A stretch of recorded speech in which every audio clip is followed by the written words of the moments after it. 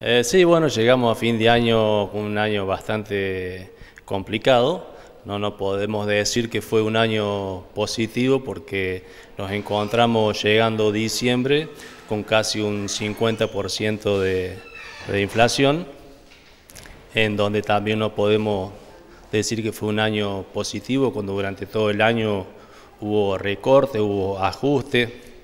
Nosotros a nivel general hemos perdido más de un 30% el poder adquisitivo. Este, entonces llegamos de esa manera bastante, bastante complicado. ¿Es difícil de recuperar este 30%, Teddy? Y nosotros nos vamos a tener que sentar en enero a arreglar estas diferencias que hay entre, entre lo conseguido. Nosotros hemos conseguido un 25%, un 15% primero y un 10% que lo vamos a terminar de cobrar recién los primeros días de enero. Eh, llegamos con un 25 contra un casi 50% de inflación, o sea, la escala salarial del, del, empleo municipal y creo que de todos los empleados eh, ha sufrido el, el, impacto ese de esta crisis inflacionaria. Eh, ¿Ha habido, bueno, se han sentado con el Ejecutivo, han entendido esta situación? Sí, eso lo, lo estamos hablando, por eso nosotros en compensación habíamos pedido un bono de 4 mil pesos.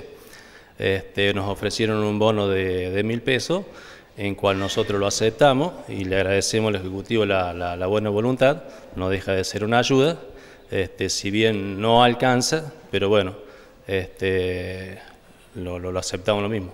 Es decir, las complicaciones son eh, para todos, no solamente los empleos públicos, sino también eh, en general la situación económica para toda la gente. En general para todos, nosotros o vemos las estadísticas que cada vez hay más pobres en Argentina, que cada vez la clase media está desapareciendo, que los comercios les ha caído la venta en todos los rubros, entonces el año que viene esperemos que, que esto cambie un poco, yo sé que un año va a ser un año muy difícil, este, y bueno, trataremos de, de trabajar en, en, lo que es la parte gremial.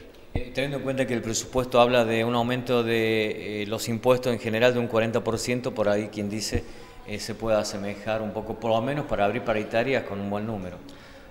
Eh, sí, o sea, pues, como te digo, tenemos que sentarnos a hablar, llegar a un acuerdo con esta diferencia que nos queda, este, para después recién eh, ver cómo, cómo serían las paritarias para el aumento del 2019. Este, así que bueno, eh, esperemos llegar a un, a un, acuerdo y vemos cómo arreglamos enero para ver de qué forma encaramos el, la, las paritarias. Eh, por último, bueno, eh, ¿cuándo se inaugura el nuevo salón, la reestructuración del salón? Eh, lo del salón están trabajando en forma permanente, le falta muy poco, le falta la parte eléctrica, pintura y algunos detalles este, pero ya está casi finalizado, no tenemos el final, fecha de final de obra, pero está muy avanzado.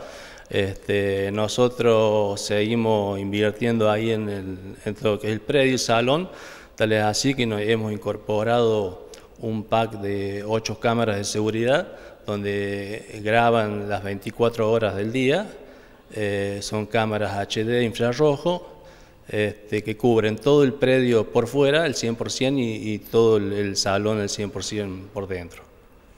Teddy, bueno, por último, la posibilidad de que puedas salvar a, a la gente, bueno, la cual hoy representas. Eh, sí, desearles todo un, un excelente año y, y, pedirle a todos, a todos los afiliados que, no, que estemos más unidos que nunca el año que viene, porque va a ser un año muy difícil, se le suma que va a ser un año político, entonces nosotros como dirigentes tenemos que estar bien atentos a lo que se dice, a lo que se habla, a lo que se promete. Entonces por eso la, la unidad ante todo.